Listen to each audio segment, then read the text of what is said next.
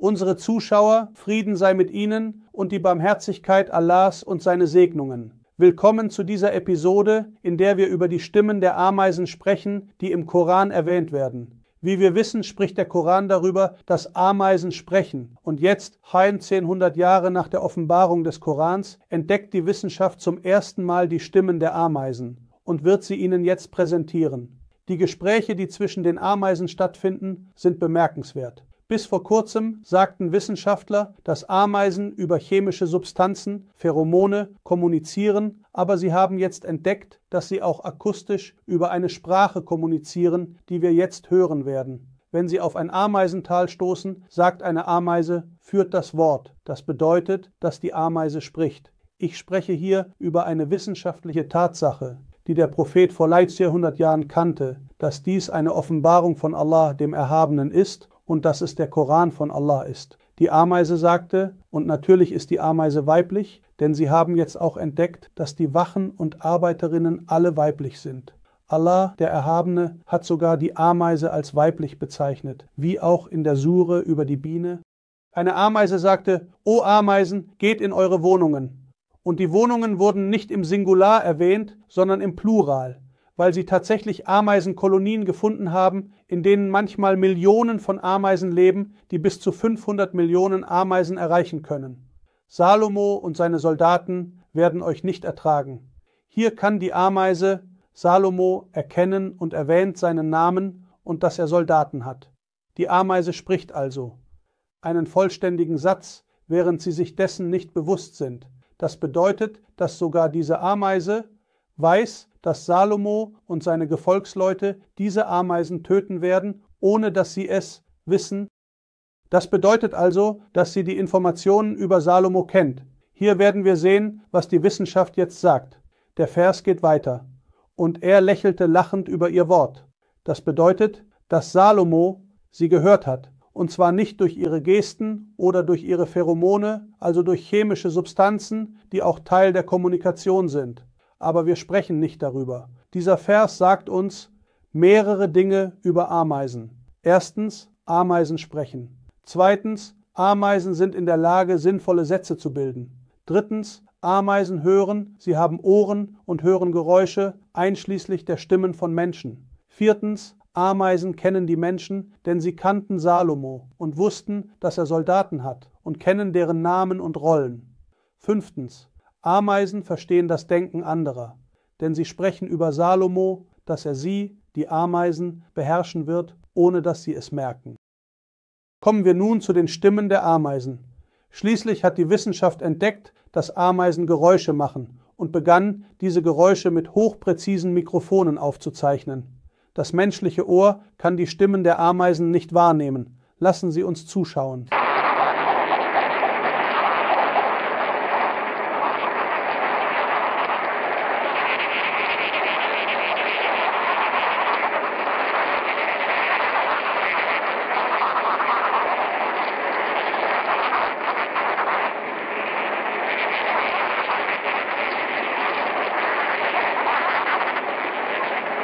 Kommen wir nun zur Erklärung der Wissenschaftler über die Stimmen der Ameisen. Es handelt sich nicht um einen einzelnen Ton oder um Sätze, sondern um sehr komplexe Sprache. Hier nehmen wir einen Artikel aus der Zeitschrift American Science, die ein Thema unter dem Titel Ameisen sprechen veröffentlicht hat. Die Zeitschrift Leute hat gesagt, dass sie entdeckt haben, dass die Ameise eine spezielle Zunge zum Sprechen hat. Diese Zunge befindet sich auf dem Rücken der Ameise in diesem Bereich. Hier ist eine Vergrößerung des Sprechorgans, das die Sprache der Ameisen erzeugt. In dem dritten Bild ist es noch mehr vergrößert, so sieht es aus. Und hier ist das Mikrofon oder das Organ, mit dem die Ameisen sprechen. Schaut, subhanallah. Natürlich gibt es tausende von Ameisenarten, aber diese Art, über die sie Experimente durchgeführt haben, wird besprochen. Sie sagen, dass die Ameisen eine Art Geige haben, mit einem Haar, das sie über die Saiten wie bei einer Geige streichen, und sie erzeugen Geräusche. Die Königin hat eine Stimme. Die normalen Ameisen haben eine Stimme. Die Larven und Puppen haben auch Geräusche. Subhanallah. Und hier haben sie ein Experiment durchgeführt. Bei den Ameisenlarven fanden sie heraus, dass die erwachsenen Ameisen Geräusche machen können. Und sie entdeckten, dass auch die kleinen Larven ein Schallorgan haben. Sie fanden heraus, dass die Kolonie, wenn sie Gefahr ausgesetzt ist oder Probleme hat, zuerst die erwachsenen Mitglieder rettet, dann die voll entwickelten Larven und schließlich die Nester.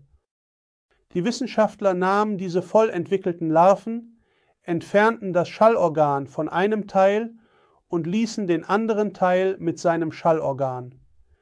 Das Ergebnis war, dass die Ameisen herbeieilten und die Larven retteten, die ein Schallorgan hatten. Die Larven, die kein Schallorgan haben, wurden von den Ameisen völlig ignoriert, als wären sie nicht vorhanden. Subhanallah, hier wird gesagt, dass es ein Element des Schalls gibt. Sie sagen sogar, dass diese Larven rufen, bitte helft mir, ich brauche Hilfe, bringt Rettung.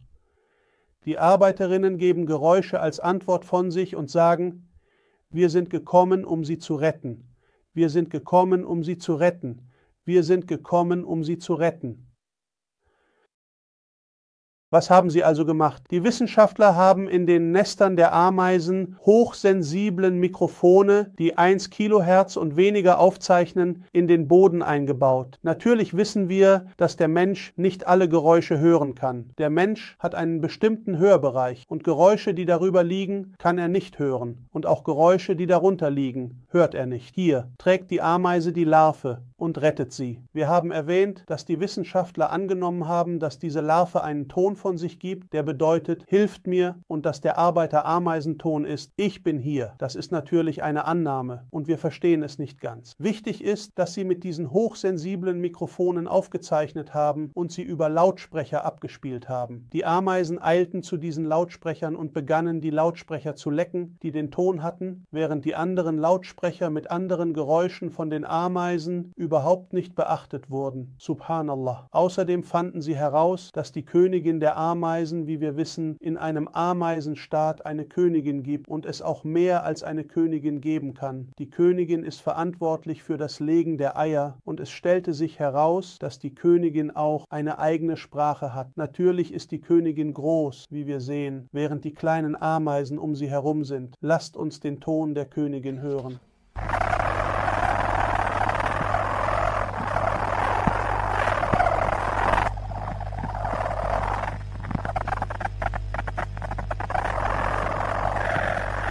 Dies stammt ebenfalls aus der amerikanischen Zeitschrift Science und spricht darüber, dass die Königin der Ameisen charakteristische Geräusche von sich gibt, die von der sozialen Motte nachgeahmt werden. Es wird erwähnt, dass die Königin Geräusche erzeugt, die Anweisungen und Befehle enthalten und dass natürlich die Armee, die aus weiblichen Ameisen besteht, ebenfalls Geräusche macht. Die Ameisen, die den Larven dienen, haben ebenfalls Geräusche und die, die nicht helfen, machen machen auch Geräusche. Alle verstehen sich und haben eine Sprache, die Wissenschaftler immer noch versuchen zu entschlüsseln. Natürlich sagen wir hier, dass Prophet Salomon diese Fähigkeit hatte, weil Allah, der Erhabene, ihm ein Wunder gegeben hat. Aber der heilige Koran zeigt, dass der Dialog der Ameise mit ihrer Kolonie normal ist, was bedeutet, dass dies nicht nur eine besondere Fähigkeit für Prophet Salomon war. Allah hat Prophet Salomon nur mit diesem Segen bedacht, nicht mehr hier gibt es auch eine spezialisierte Website, die zur American Science Magazine gehört. Und die Website heißt Explorer Sound. Die Seite spricht ebenfalls über die Geräusche von Ameisen und präsentiert einen der Wissenschaftler. Hier ist der englische Text für diejenigen, die darauf zurückgreifen möchten. Hier ist die Google-Übersetzung. Hier diskutieren sie, dass Ameisen den Schall durch den Boden hören, dass der Schall der Ameisen sich im Boden überträgt. Natürlich gibt es die Geschichte von Salomon, in der die Ameise sagt, damit euch Salomon und seine Soldaten nicht übersehen. Das bedeutet, dass Prophet Salomon auf der Erde geht und mit seinen Soldaten unterwegs ist und der Schall wird auf diese Weise von den Ameisen gehört. Sie sagen, dass sie nicht annehmen, dass der Schall der Ameisen nicht durch die Luft übertragen wird. Aber aus dem Vers im heiligen Koran, dass Prophet Salomon sie hörte, folgt, dass der Schall der Ameisen auch durch die Luft übertragen wird und möglicherweise auch durch den Boden, wie sie sagen. Natürlich sind die Wissenschaftler sich noch nicht sicher. Sie befinden sich noch in der Phase der Erkundung und versuchen, die Sprache der Vögel, der Tiere und der Insekten zu verstehen. Sie sagen, dass Ameisen anscheinend taub sind für den Schall, der auf menschlichem Niveau durch die Luft übertragen wird. Das heißt, sie hören es nicht.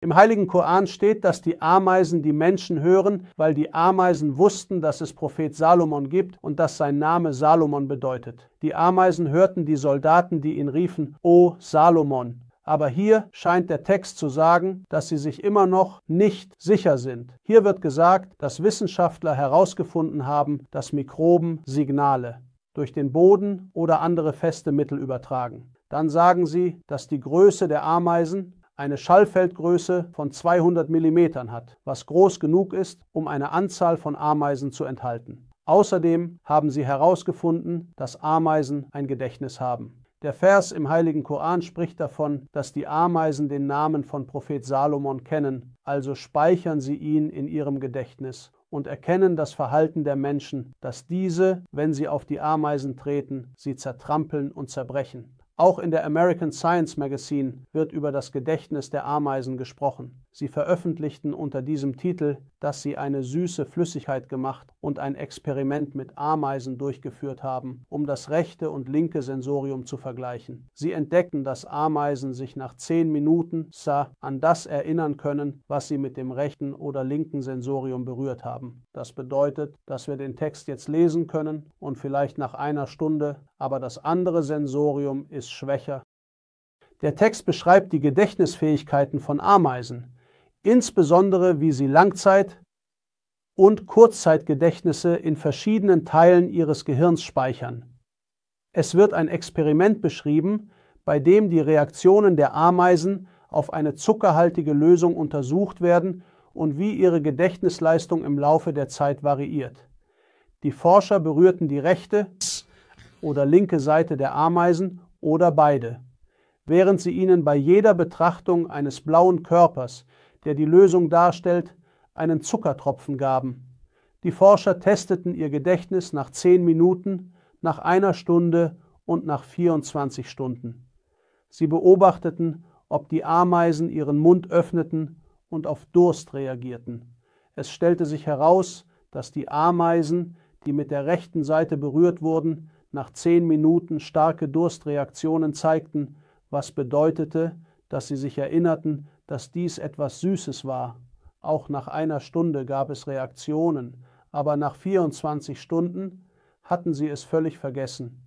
Die Ameisen, die mit der linken Seite berührt wurden, reagierten jedoch nicht, selbst nach zehn Minuten oder einer Stunde oder mehr, sondern zeigten erst nach 24 Stunden Durstreaktionen, was bedeutet, dass sie auf die blaue Lösung erst nach 24 Stunden reagierten.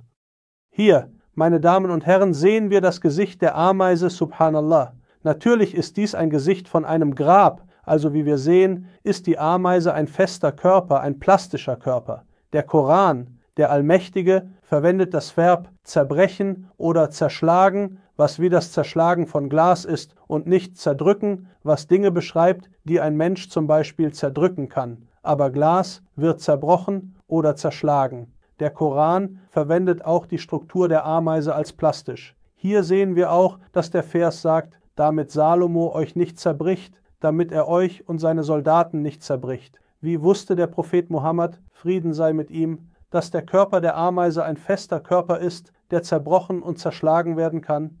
Hier haben sie auch ein Experiment über das Gedächtnis der Ameisen durchgeführt.